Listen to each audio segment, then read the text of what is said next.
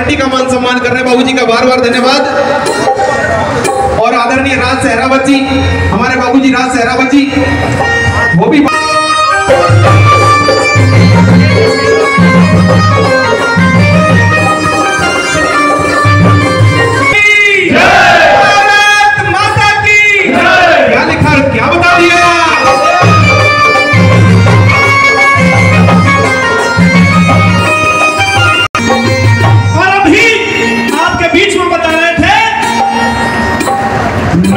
जनवरी अठारह, ऐसा आ नौ जनवरी अठारह सौ अट्ठावन, एक दिन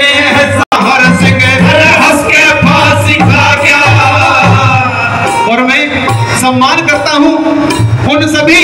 आदत तेरे देश में इनकलाब ये आ गया उसकी शहादत तेरे देश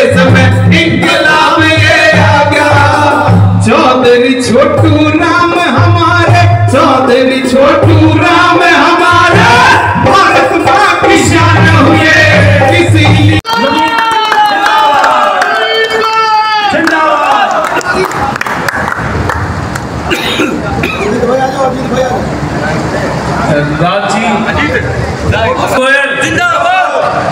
नवीन गोयल जी, आपके सुबराड़ी गाँव में पधारने पर आप मैं आज गाँव सुकराली में आशीर्वाद लेने के लिए आया हूँ। मेरे गाँव के सभी सरदारी, सभी मौजी जान से मिलने के लिए आया, अपनी बात को रखने के लिए आया था।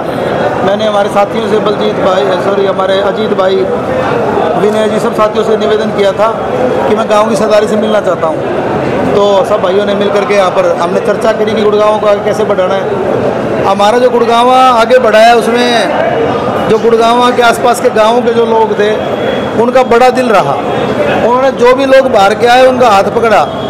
आज गुड़गांव मिनी इंडिया बन गया है। देश के हर कोने का आदमी यहाँ पर रहता है। तो मैं ये चाहता हूँ कि हमारे गाँवों की भी जो गुड़गांव को आगे मॉडल बन रहा है उसमें इनकी भी पूरी भूमिका रहनी चाहिए। और गाँवों के अंदर जो बिजली की, सड़क, सीवर की, पानी की जो समस्याएँ हैं, उन समस्याओं का हम मिलकर के आने वाले समय में एक ऐसा रोड मैप तैयार करना चाहते हैं कि छोटी छोटी समस्याओं के लिए किसी गाँव के भाई को परेशान ना होना पड़े। और देखिए, गाँव राम से बढ़ करके कोई कुछ नहीं होता।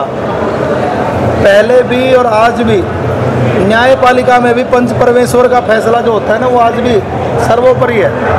और हम तो पैदा भी गाँव में हुए तो गाँव की पृष्ठभूमि से अच्छे से वाकिफ़ हैं। और जो चौपाल हैं, ये ऐसा एक सामाजिक स्थल है, जहाँ पर पूरे गाँव की कोई भी समस्या हो, कोई भी फैसला हो कोई भी सामाजिक कार्यक्रम हो और गाँव के लोगों ने सभी मोदी जान ने मुझे मिलकर आशीर्वाद दिया है। मैं गाँव वासियों का बहुत बहुत धन्यवाद करता हूँ।